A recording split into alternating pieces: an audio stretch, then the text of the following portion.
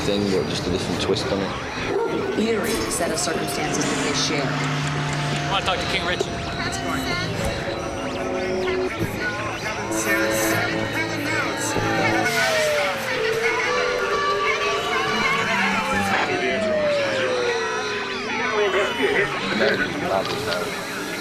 Electricity. Hey, I'll see you in New York. Still to come in this cable broadcast. Will he play it safe, or will he go for the title?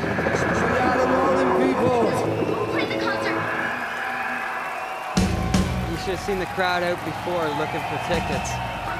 It's crazy. You know, New York City has the best of everything. That doesn't mean you shouldn't play it safe. Please, buckle your seatbelt.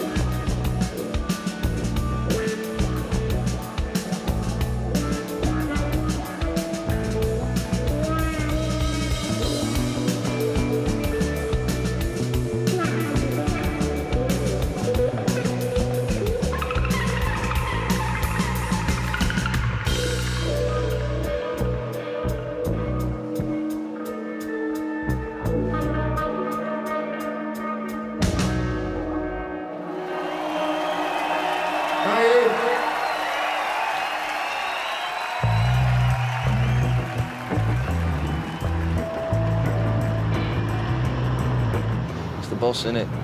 So it's lot, having it, living.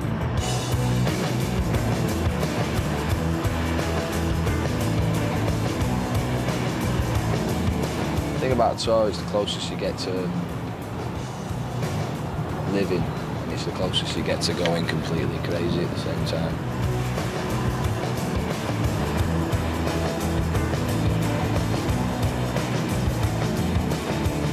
There's some people who've been into the band saw us on the first tour, Storm in Heaven, and are still there now. It's like I remember some guy shouting out, "Man, you've been away for three years. I've not seen you. I never forgot you once." And it's just been everyone's just so involved with the band who's been into it.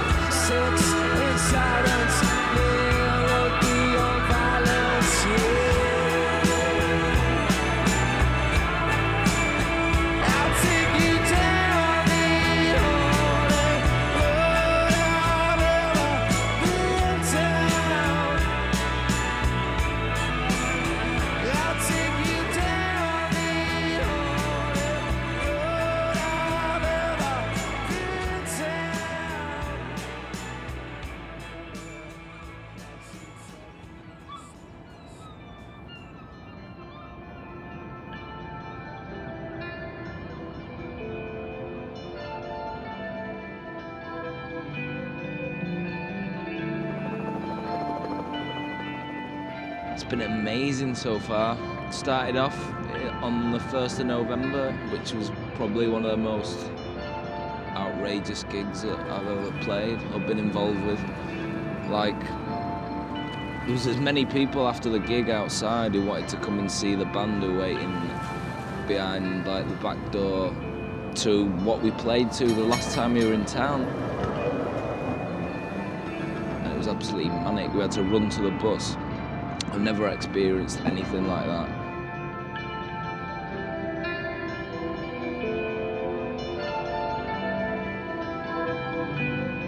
When we first came over, we were 18, 19 years old, and we spent a couple of days in New York, and that was a lot to take in. And we've done a lot of tours here since in America. And I think we're all a bit older now, and we have a couple of days off to like recharge our batteries. It's pretty insane.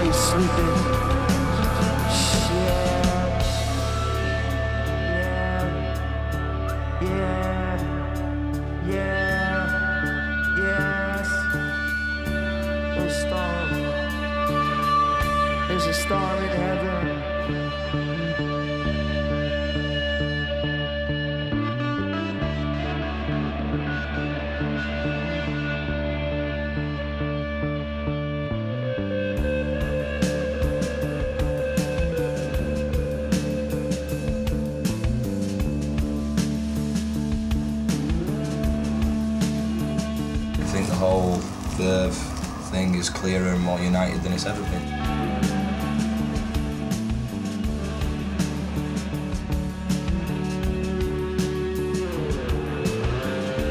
We're making music of its time and people have tapped into it because of that. People relate to it now. People grown up a little bit.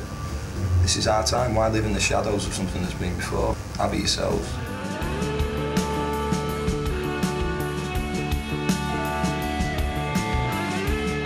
When I'm on stage with my eyes closed, I'm not at a gig, I'm just listening to this band play. I'm at the end of Stormy Clouds last night, I, I got my eyes closed and I'm in it. I'm not, I'm in something that is beautiful. I'm in a beautiful place, I'm in a beautiful space.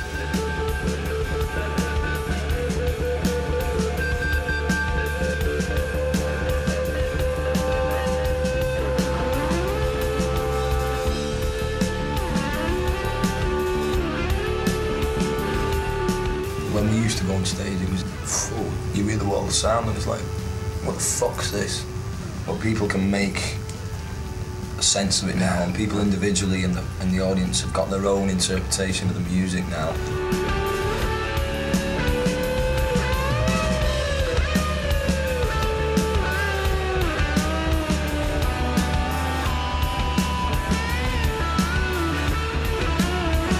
Before we were we were concentrating on one particular thing, and now we've got many places we can go, and all of them are equally as intense.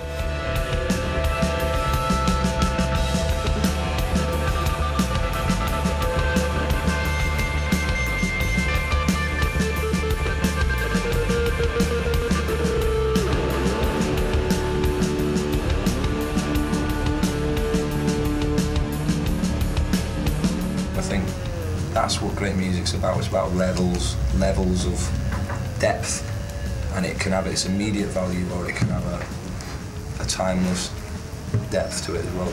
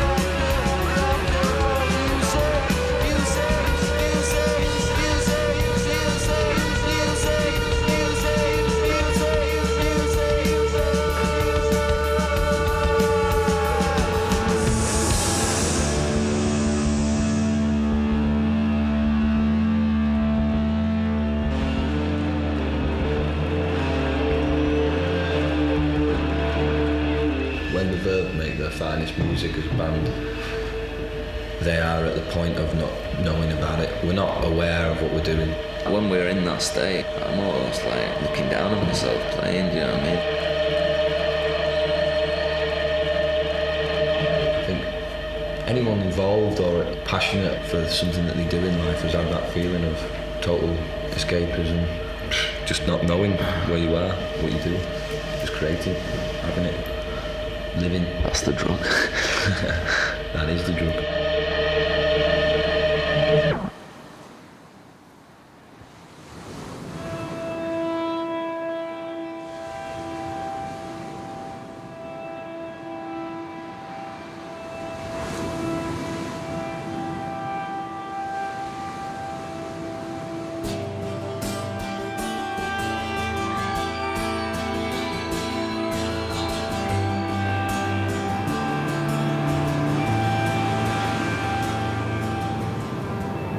Difficult to explain what it's like.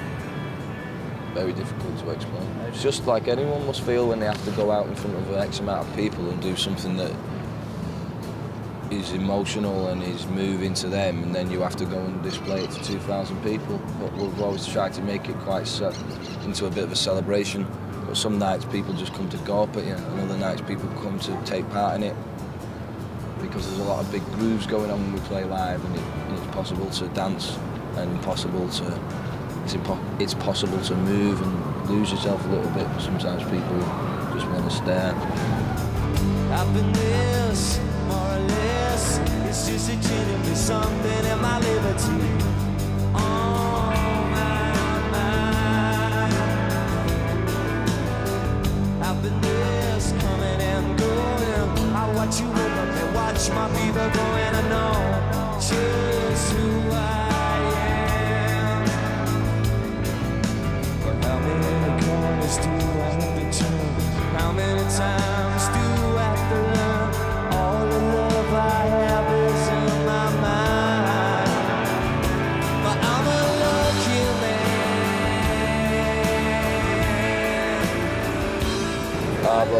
Yeah, every city, every state feels totally different. That's why the gigs are different in every state. Similar kind of freaks turn out and they're welcome. And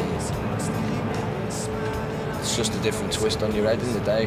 But I think you have to have it to, to play differently, to make it interesting for yourselves and for people who might have been to a few shows in a run. You have to put something across, and I think every city brings some other little weird twist out in everyone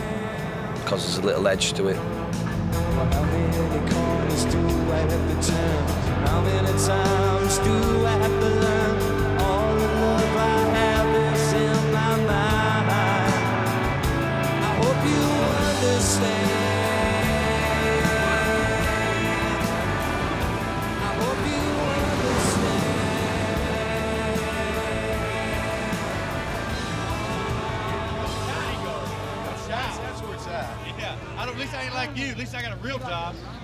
Security was worried about crowd control. Yeah, too worried about crowd control instead of Excellent time.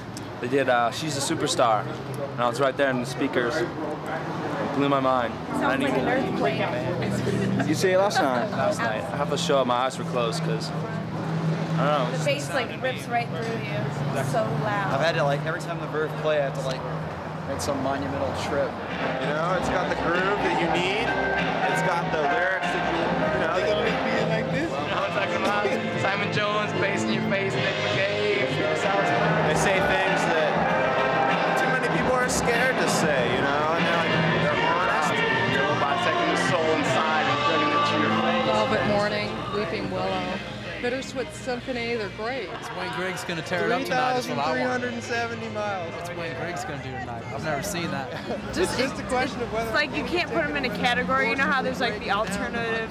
Too much good music you guys have made.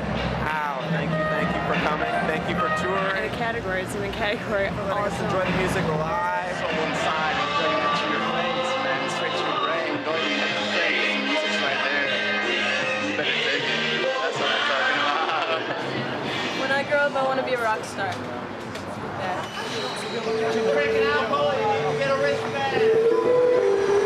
When you start playing live, it, well, the song becomes something else again, and you enjoy playing them live. So then you have your live favourites, you know. It's like when we write our set list, we're not just talking about music. We're talking about how you're actually going to feel after playing that tune.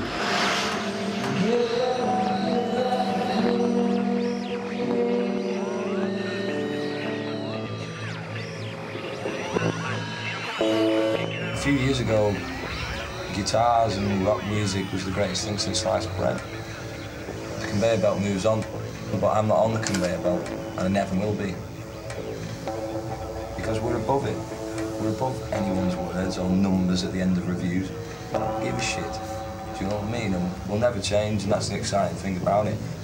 We're going to be thrust into the world scene, and we're going to take it wherever we want. And if it means commercial suicide on the next album, then that's what it means. Who cares? We're just doing what we're doing.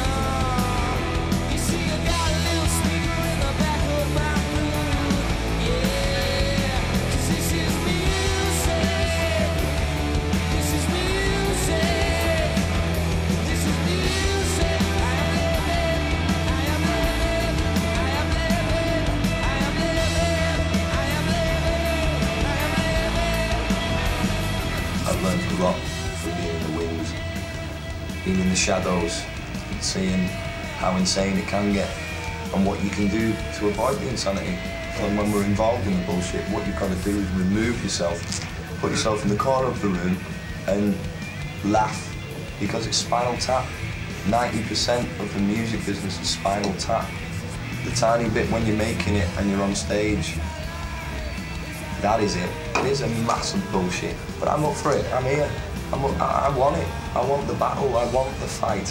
What we've been waiting for all this time? Just to like hide away? Fuck that.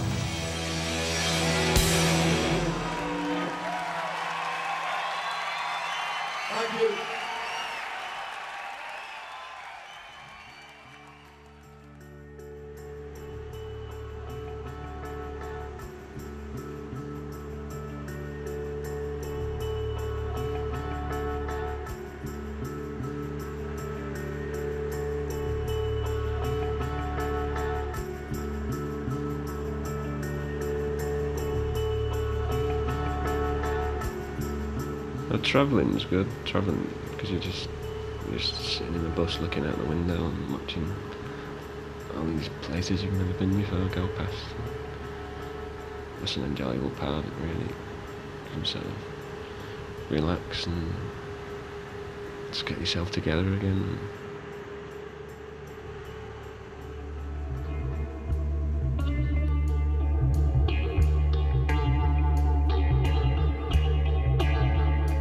People who've seen every show so far on the whole tour.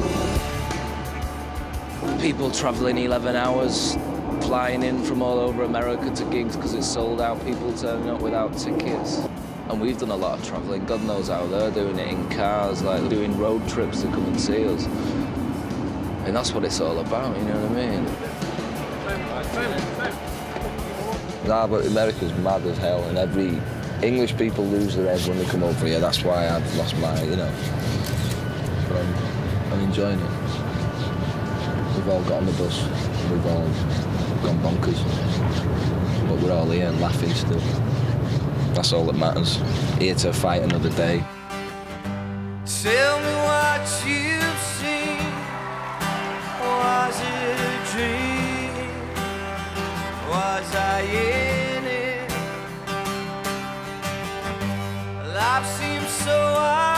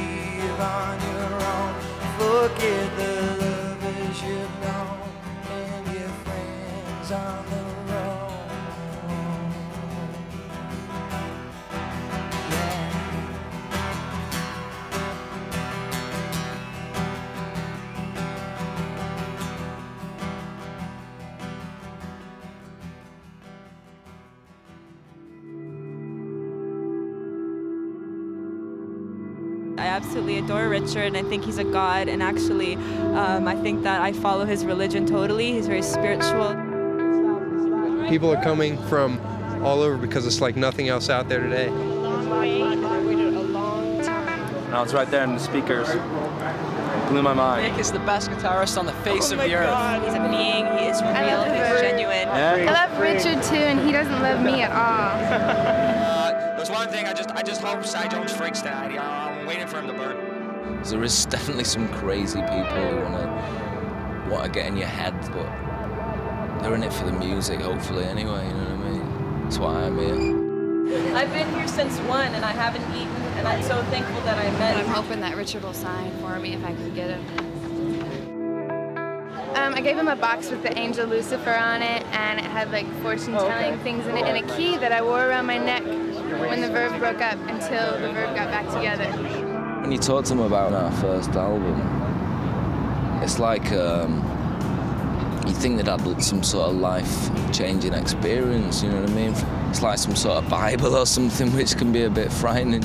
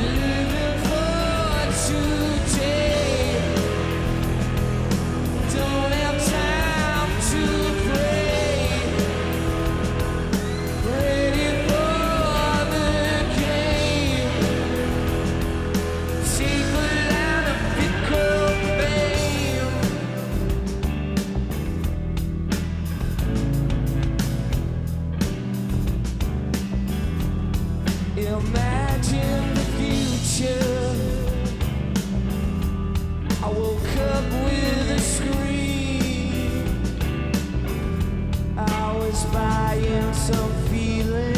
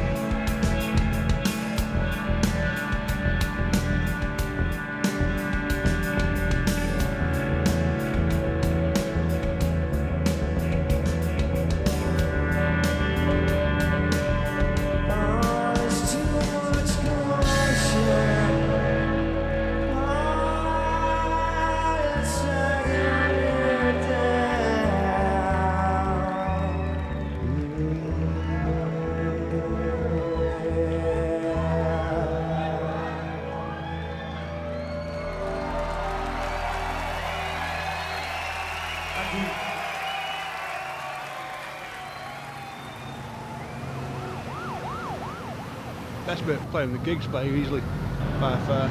Biggest rush you can get out of anything. It's- This time round it's been better than ever in all the other places, so should be bananas tonight. Should be the best one.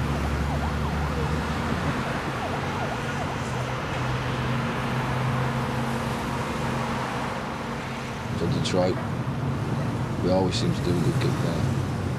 People to live there in general, it's just got a different vibe to it. It reminds me of the north of England. People just have to make an effort to even go the gig in itself.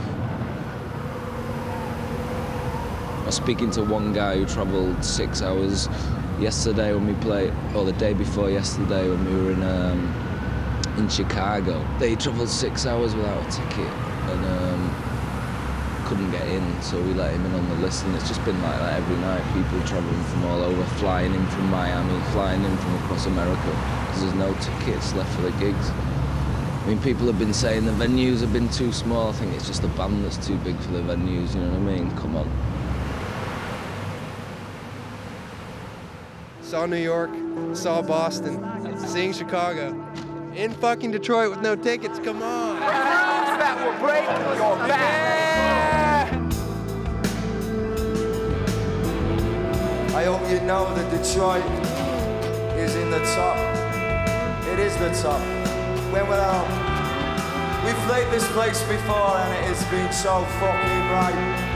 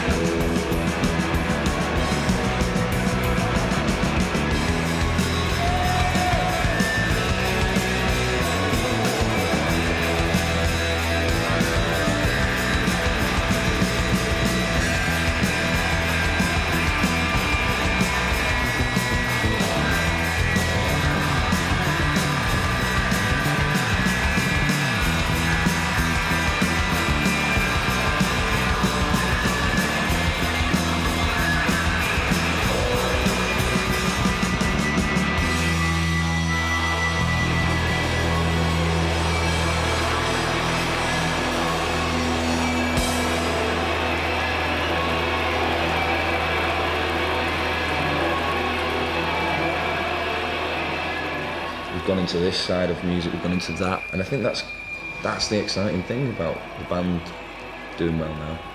Is that's all I've ever really wanted, because I like extreme music, and you know, I think once we've got got people listening, we're going to take them on a on an adventure, like all the great bands should once they get an audience, not give them second-rate shit, you know, just because they've got limousines now and they've lost it, lost the hunger.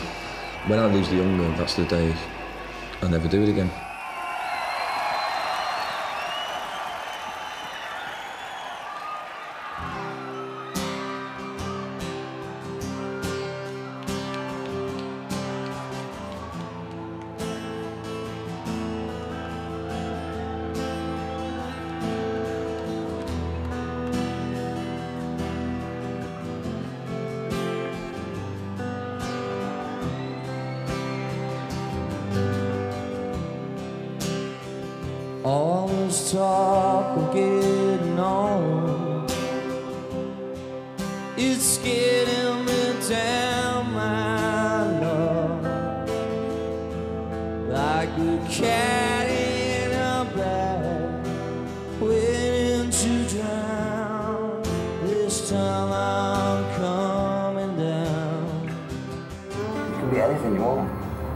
You can be one song, you can be something, and you can you can go wherever you want to go. And I think to ignore the kind of cultural melting pot which is the end of the 1990s and being a band is a you know is a, is a grave mistake. And I think the great thing for me about being in this band is that no one knows what our next single is going to sound like. No one knows what the next album is going to sound like.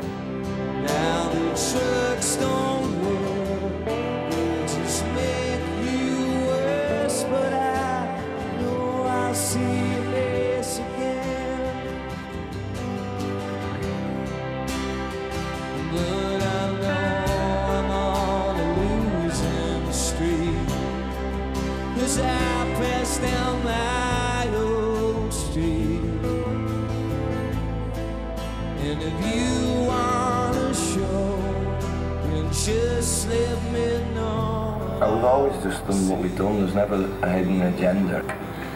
I think there's a there's always been a an unwritten law not to conform in any way, basically.